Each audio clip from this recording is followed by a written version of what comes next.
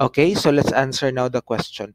Which of the following is not true about the integral membrane protein span the bilayer?